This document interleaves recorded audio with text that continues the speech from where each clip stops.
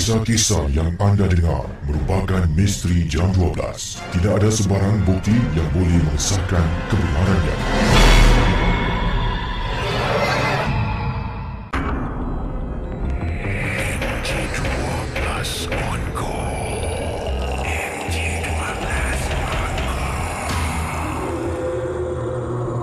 Kisah kiriman email yang pertama pada tengah malam ini yang akan Casey bacakan kepada anda semua. Ini adalah satu peristiwa yang berlaku kepada Nisa, Khairul Nisa berkongsi pengalaman ini. Dan ini tentang bauan satu bau yang prominent. Satu bau yang katanya bila kita bau bauan ini dalam rumah kita tahu Nini ada dalam rumah. Arwah Nini saya ketika dia masih hidup suka menggunakan sejenis minyak wangi. Dan minyak wangi ini baunya cukup ketara. Memang senang kalau kita bau kita akan tahu Nini dalam rumah. Kesibukan itu saja katanya Nisa. Malah bila balik dari tempat tugas Adapun naik lift, turun lift, bau yang sama akan dapat kita bau. Kita tahu Nini baru turun ataupun Nini baru naik lift. Nini tinggal bersama dengan kami. Dan pengalaman ini berkenaan dengan bau yang saya katakan yang getara, yang prominent ini. Dalam rumah. Dan membuat saya, membuat ibu, membuat abang, bapa mempunyai sedikit rasa takut dengan gangguan yang dialami oleh keluarga kami. Pendeng- Pendengar misteri jam 12 Katanya Khairunisa Bila tiba malam Kadangkala nanti akan bau ni datang Waktu tu ingat lagi Tengah duduk Dengan ibu saya menonton TV sekitar jam 10 malam. Saya boleh tercakap, Casey. Mak, bau nenek, Mak. Hei. Mak saya marah saya. Apa cakap ni? Uh, ah, tak ada apa-apa, Mak. Dan kemudian, beberapa hari kemudian, saya sedang menonton TV di depan seorang diri. Mak saya berada di telefon sedang berbual dengan bapa saya yang sedang bertugas memandu teksi. Saya dengar mak saya cakap, "Bang, kebelakangan ni bang, abang ada bau tak dalam rumah kita ni? Bukan orang je bang, Nisa pun pernah cakap dengan orang." bau arwah mak. Kisi bau arwah arwah nini akan datang. Abang saya pun pernah beritahu. Mula-mula duduk dalam bilik. Duduk dalam bilik tutup pintu. Saya ni dengan mak dengan eh, saya dengan mak sedang menonton TV di hadapan. Waktu itu sekitar jam 10 lebih malam. Bapak saya macam biasalah bertugas memandu teksi pada waktu malam. Tiba-tiba abang saya keluar dengan bantal peluknya, keluar terus baring dekat sofa panjang. Mak saya tanya, "Mirul, ada tidur sini pula?" Tidur dalam. Abang giling kepala. Tidur dalam. Hafsal. Mak, dalam bilik bau nenek, Mak. Casey, bila saya ceritakan pada Casey dan juga pendengar misteri jam 12, mungkin tidak seram. Tapi kalau Casey ada bau, pernah jumpa nenek saya dan tahu itu bau arwah, arwah dah meninggal dunia. Dah lebih kurang seminggu lebih arwah meninggal dunia, tapi bau tu tiba-tiba datang balik dalam rumah. Yang paling menakutkan saya Katanya Nisa Saya baru balik kerja Saya ada kerja part time Sementara saya tunggu keputusan peperiksaan Saya bekerja part time sampai di kolong blok rumah sekitar 11 lebih malam. Picit butang lift tengah tunggu lift nak turun ke bawah. Tengah tunggu ni Casey berdiri. Masya Allah Casey. Saya bau arwah nenek saya. Saya cuba pejam mata dan baca Al-Fatihah. Masuk lift, pintu lift tertutup. Mula-mula tak ada bau. Dalam lift pun dia ikut Casey. Keluar lift.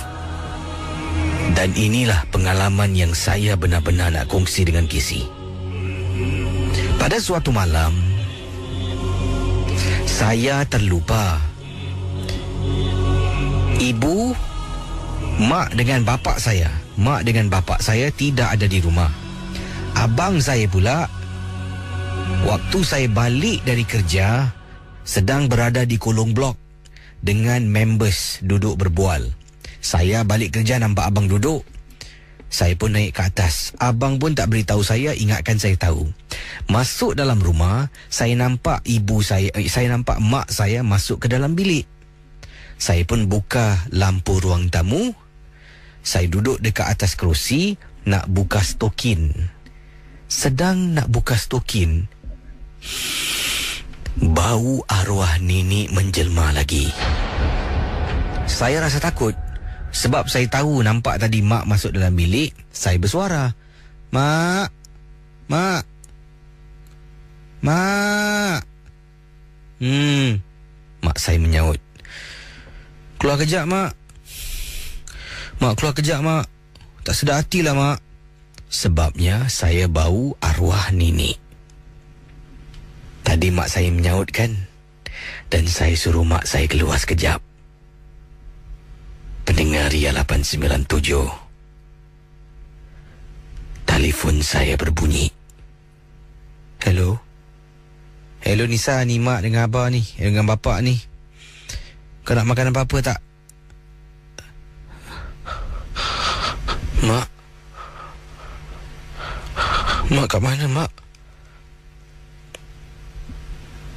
Casey, bila saya tanya tadi, yang menyaut dalam rumah saya, siapa Casey? Saudara, kisah-kisah yang bakal anda dengar dalam Misteri Jam 12. Anggaplah ia hanya satu hiburan. Tidak ada sesiapa yang boleh menyesatkan kebenarannya. Kalau anda rasa takut, perlahankanlah suara radio anda. Misteri Jam 12. Hanya satu hiburan.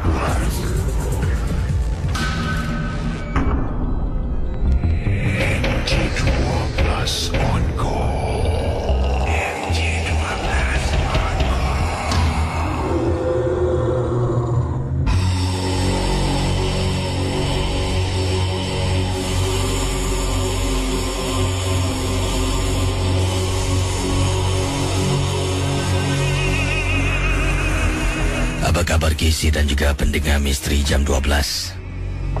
Nama saya Lukman. Saya ingin berkongsi pengalaman yang dialami oleh saya dan isteri. Pada waktu itu, ini adalah kisah yang benar-benar berlaku. Memang sukar untuk dipercayai. Memang susah nak-nak hal-hal yang dikaitkan dengan dunia yang lain. Casey, sebenarnya pengalamannya begini. Kita hidup di rumah flat, biasalah hidup berjiran. Jadi katanya Lukman dalam kiriman email kepada saya. Ibu kepada jiran sebelah saya. Ibu kepada jiran sebelah saya telah pun meninggal dunia. Anda bayangkan yang nak diketengahkan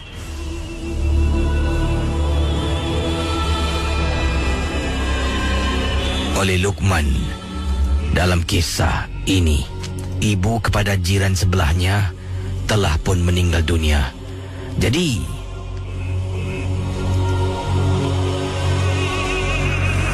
beliau katakan di sini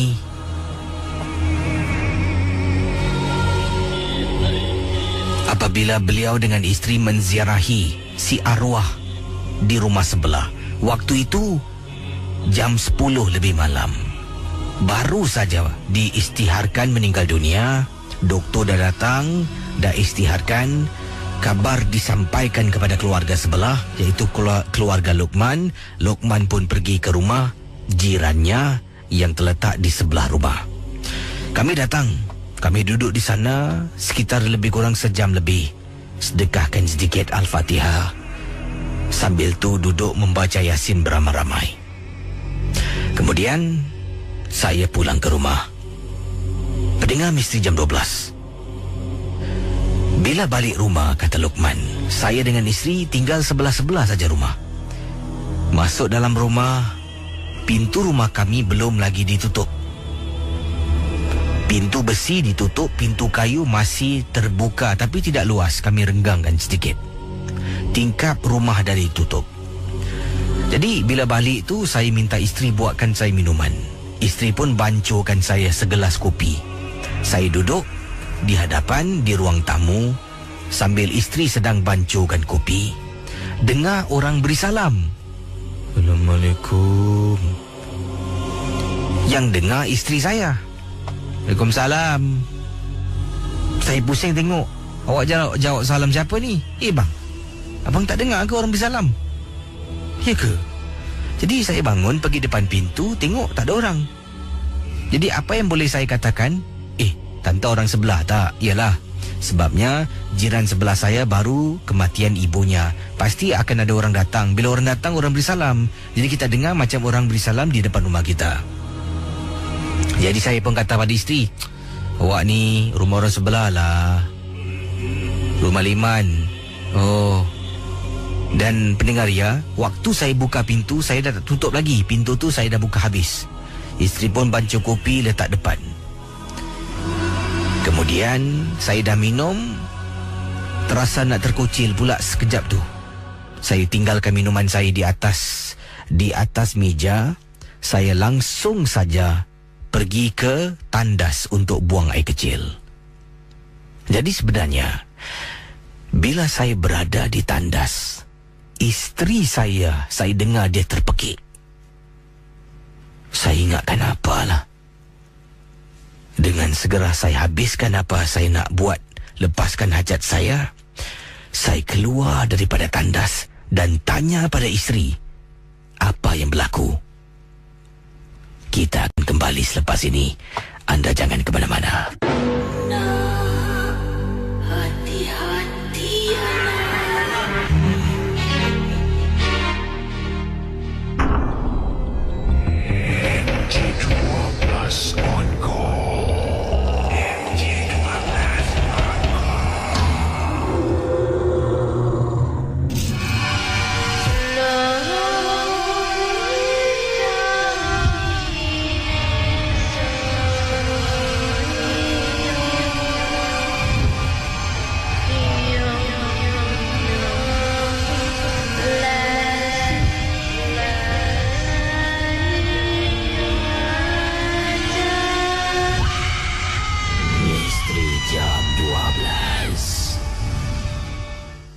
Baik, Beringar Ria 897. Kita teruskan dengan kisah Lukman. Awal tadi saya katakan dalam kiriman ini, Lukman menceritakan bila istrinya dengar orang beri salam. Eh, Lukman bangun buka pintu yang tidak ditutup rapat. Dia buka pintu depan rumah tak ada orang. Jadi dia andaikan, oh rumah jiran sebelah lah yang beri salam. Istrinya salah lah. Jadi pintu tu tidak ditutup semula. Dibiarkan terbuka. Lukman kembali ke tempat duduknya, minum secawan kopi. Kemudian rasa nak terkucil, dia pun pergi ke tandas. Bila dia pergi tandas lah, waktu itu dia terdengar istrinya terpekik. Saya keluar.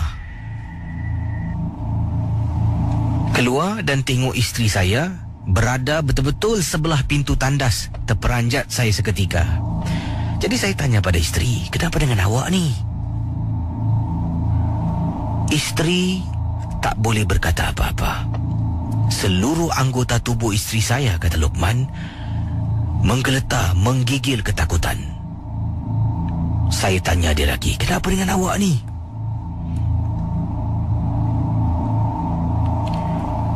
Ibu jiran sebelah saya namanya Cik Mida. Arwahnya nama kita kenal sebagai Cik Mida. Isteri dalam keadaan ketakutan mengatakan, Bang, bang, tadi saya nampak Cik Mida depan pintu bang. Saya tanya pada isteri awak biar betul ni. Bang, saya kenal Cik Mida bang. Saya tak salah orang bang. Cik Mida depan pintu bang. Casey bila dengar kata-kata isteri, saya terperanjat, terkejut. Jadi saya kata pada isteri, sudahlah. Mungkin itu agaknya roh. Roh Cik Mida yang dapat anda lihat buat kali terakhir agaknya. Saya terus ke depan, saya tutup pintu. Pendengar misteri jam 12, kata Cik Lokman, malam tu isteri saya masih tak boleh lelapkan mata. Dia seolah-olah dalam keadaan ketakutan. Masih lagi terfikir, terkenang-kenang tentang penampakan yang berlaku di hadapan rumah kami. Saya sampaikan perlu telefon bapa saya dan tanyakan apa yang boleh saya lakukan. Bapa saya suruh saya baca sesuatu lah di gelas air putih dan berikan kepada isteri untuk minum, sapu ke mukanya dan bila isteri nak tidur duduk di tepinya dan pastikan tidur. Pastikan dia tidur, jangan kita biarkan dia bersendirian. Saya temankan isteri berbual-bual dengan dia sampai dia lupa tentang kejadian tadi sampailah isteri saya dapat lelapkan mata. Pendengar Misteri Jam 12 katanya Lokman itulah pengalaman yang ingin saya ketengahkan dalam rancangan ini. Terima kasih dan selamat tengah malam.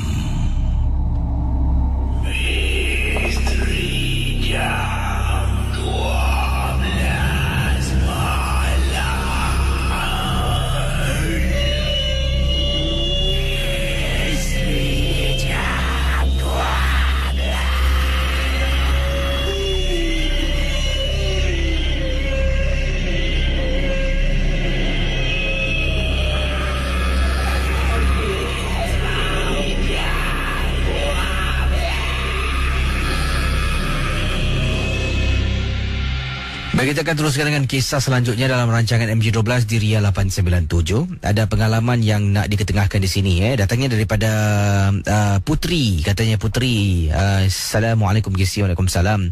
Nama saya Putri Diana. Uh, dan Putri Diana kata ingin uh, berkongsi satu pengalaman. Ini berlaku pada pagi hari. Uh, di pagi hari itu, uh, saya terperanjat apabila saya buka pintu lah. Selalunya rumah saya ni akan uh, dihantar surat khabar. Jadi uh, waktu pagi tu uh, sebelum uh, solat subuh uh, dengan keadaan bertelekung ni lah uh, saya dah ambil wudu eh dah pakai telekung. Jadi dengar ada orang campak surat khabar, saya pun bangun lah sedang, sedang nak tunggu azan subuh ni. Saya buka pintu nampak depan uh, memang ada surat khabar lah. Saya pun mengangkat uh, surat khabar tersebut. Jadi sedang saya membungkukkan diri buka pintu besi mengangkat surat khabar saya dengar kisi uh, bunyi ada orang turun tangga atau tepi rumah saya. Sebabnya rumah saya ni uh, tepinya adalah tangga. Uh, dan uh, bila saya terdengar orang turun tangga biasalah kita akan lihat orang kita akan nampak orang lah turun. Tapi yang hairan orang turun laju tau. Dia lari kemudian dia berhenti. Dan saya pun yang dalam keadaan membungkuk nak angkat surat khabar tu saya bangun perlahan-lahan saya tengok tak ada orang pun saya buat bodoh lah. Mas, waktu tu belum lagi azan subuh. Uh, saya rasa lebih kurang lagi 15 minit nak dekat subuh kalau tak silap saya lah. Jadi saya pun sebenarnya memang uh, kalau bangun awal saya akan uh, ambil wuduk pakai telekung dan akan mengaji lah sampai azan subuh. Tengah pegang surat khabar berdiri saya tengok eh siapa ni? Kemudian saya menjenguk tengok dekat tangga langsung tidak ada orang membuat saya terperanjat dan terkejut apabila saya ni berada dekat tangga eh berada di tepi tangga. Tiba-tiba saya nampak macam tangan orang sedang pegang tepi tembok rumah saya. Kisi bila nampak keadaan tangan tu yang menakutkan saya terus tutup pintu. Dan uh, dalam masa yang sama ada orang ketuk pintu rumah saya beberapa kali. Saya tidak indahkan terus masuk ke dalam rumah Kemudian terus mengaji sampailah azan subuh berkumandang. Yang saya hairan, sebelum azan subuh beberapa kali dengar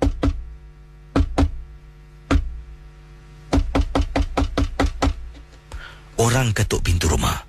Selepas sahaja azan subuh, ketukan yang mengganggu saya terus hilang. Itulah pengalaman yang saya nak ketengahkan. Terima kasih daripada Putri Diana yang berkongsi dalam rancangan Misteri Jam 12.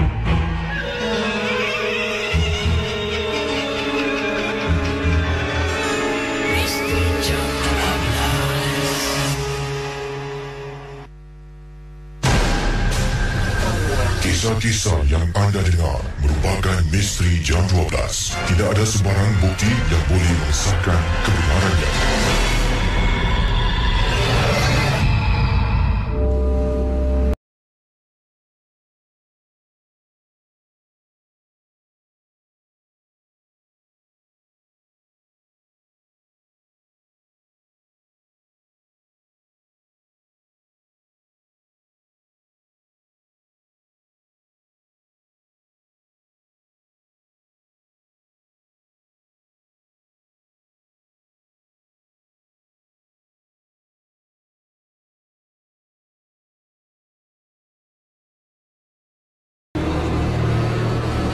Baik, kiriman email yang ingin saya bacakan pada tengah malam ini, saudara. Ini dari pendengar kita berasal dari uh, mana ni? Kepulauan Riau. Namanya Don. Eh. Katanya Don. Assalamualaikum, KC. Waalaikumsalam warahmatullahi Saya adalah penggemar setia. Ya, penggemar Tegar MJ12 berasal dari Kepulauan Riau dan nama saya Don. Uh, peristiwa yang ingin saya ketengahkan ini, uh, ingin saya kongsi bersama uh, pendengar MJ12 yang lainnya. Uh, ini berlaku pada diri saya. Sebenarnya, saya telah pun mendapat mendapatkan khidmat seorang bomo atas uh, masalah yang saya alami beberapa tahun yang lalu. Masalah yang saya alami ini adalah tentang perhubungan saya dan teman wanita saya lah uh, dan pacar saya katanya. Jadi uh, sebenarnya saya dah berkenalan dengan pacar saya untuk sekian waktu. Tapi bila tiba masanya untuk saya berjumpa dengan kedua orang tuanya dan ingin melamar beliau sebagai isteri saya, uh, lamaran saya telah pun ditolak oleh kedua orang tua pacar saya. Sememangnya saya ini bukanlah sekaya manapun kisi. Saya ini orang-orang biasa sahaja. Tapi mempunyai pekerjaan yang tetap. Saya mampu memberi anaknya makan dan mampu mengendalikan majlis persandingan saya. Tapi tidaklah sebesar yang diinginkan oleh kedua orang tua.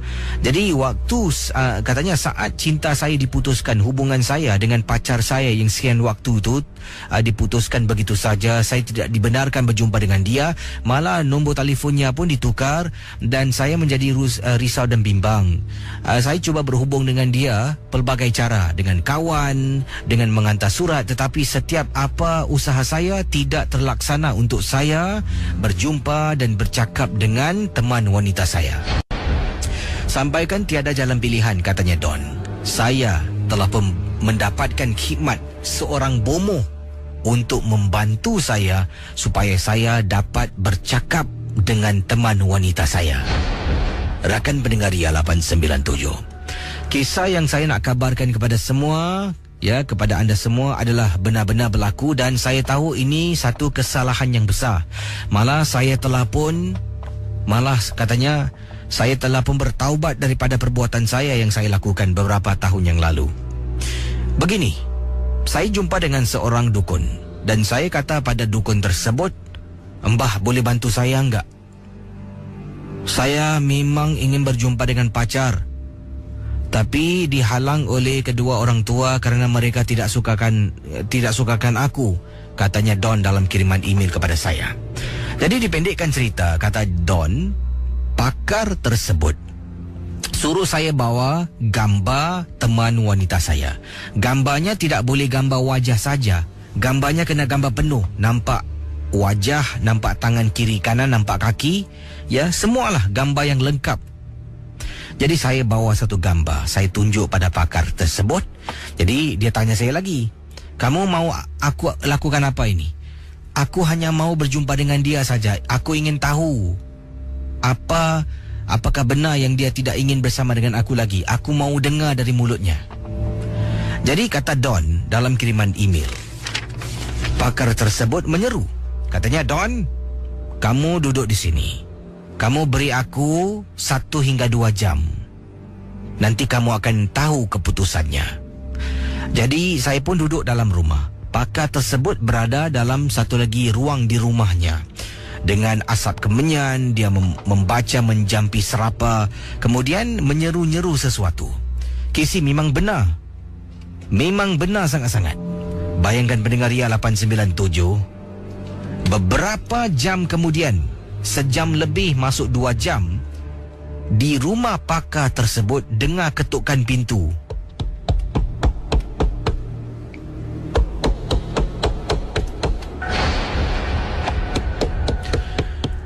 Saya bangun, saya ke depan, bila saya buka pintu terperanjat, saya ternampak teman wanita saya di pintu depan rumah dukun tersebut.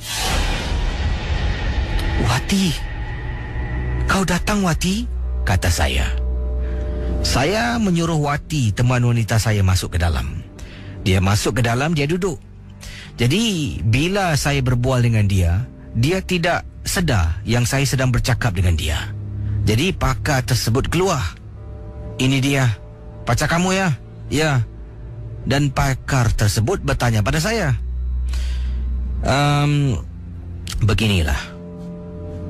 Aku akan sedarkan dia, tapi kamu mesti menenangkan dia. Sekarang ini dia tidak sedar. Dia dalam pukawan. Kalau aku sedarkan dia dari pukawan, kamu harus tenangkan dia. Kalau dia menjerit, susah nanti kita. Jadi pakar tersebut dukun itu memegang dahi teman wanita saya kemudian meniup teman wanita pejam mata kemudian membuka matanya dan terperanjat melihat ternampak saya duduk di hadapannya. Don.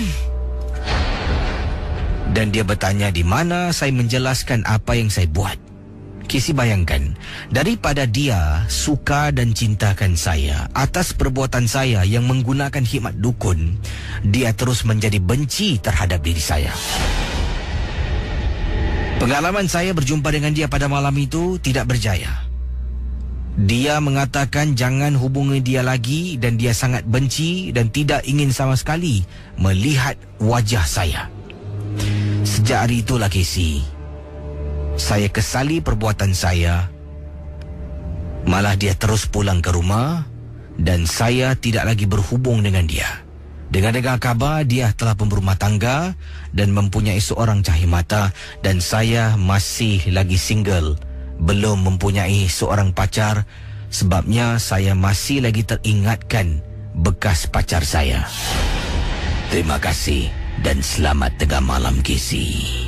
Kisah-kisah yang anda dengar merupakan misteri jam 12.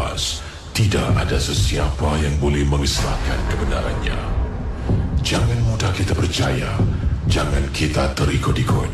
Ingatlah, NG12 hanya satu hiburan.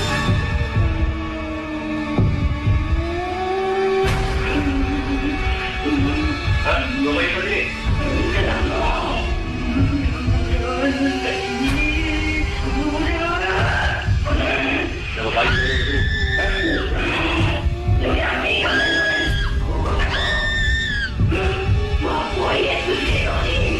mine.